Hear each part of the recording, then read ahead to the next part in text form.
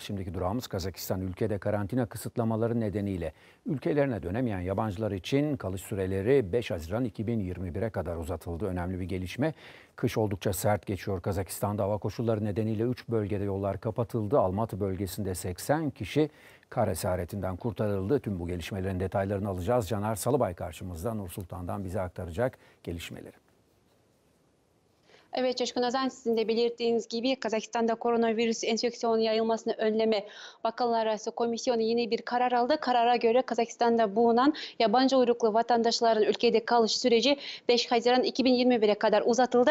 Kazakistan Göç Hizmetleri Komitesi Başkan Yardımcısı Sabırcan Seyitcanov konuyla ilgili bir açıklama yaptı ve doğrudan ulaşım bağlantılarının olmaması ve uçak fiyatlarının artması nedeniyle Kazakistan'da şimdi çok sayıda yabancıların bulunduğunu belirtti. Kazakistan'da bulunan e, yabancı uyruklu vatandaşlar 5 Haziran'a kadar e, bölgelerindeki e, göçmenlik servisi dairelerine kaydolmalı, çalışma pateni ve geçici olarak e, geçici oturma izni almalı diyelim. Öte taraftan sizin de belirttiğiniz gibi Kazakistan'ın 3 bölgesinde hava koşulları nedeniyle yollar kapatıldı.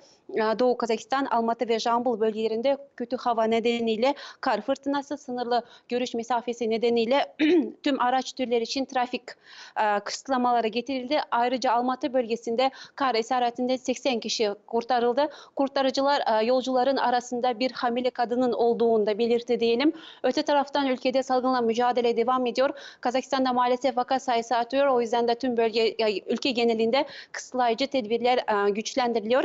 Akmola ve Pavlada bölgelerine de yeni tedbirler alındı. Öte taraftan e, Kazakistan şimdi kırmızı bölgesinde başkent Nursultan dahil olmak üzere dört bölge yer alıyor. E, Öte yandan vaka sayısının artması nedeniyle Ortodoks Hristiyanlarının e, vaftiz bayramı kutlanmayacak. Kazakistan 8 bölgesinde topluca Buzulsoy'a girme töreni yasaklandı diyelim. Ülkedeki salgınla ilgili son rakamlar aktaralım. Kazakistan'da son 24 saatte yeni 1003 vaka tespit edildi. Toplamda vaka sayısı 169.099'a yükseldi. Son 24 saatte 468 hasta iyileşerek toplam e, toplamda 153.503 hasta taburcu oldu ve ülke genelinde 2349 can kaybı yaşandı. Kırgızistan'da da e, Kırgızistan rakamlarını aktaralım. E, Kırgızistan'da son 24 saatte yeni 69 vaka tespit edilirken toplam vaka sayısı 83.178'e yükseldi. Son 24 saatte ülke genelinde 110 hasta iyileşerek toplamda 79.104 hasta taburcu oldu ve ülke genelinde 1387 can kaybı yaşandı diyelim ve sözü yeniden size bırakalım. Evet Kazakistan gündeminden notlar böyleydi. Caner Salıbay'dan aldık.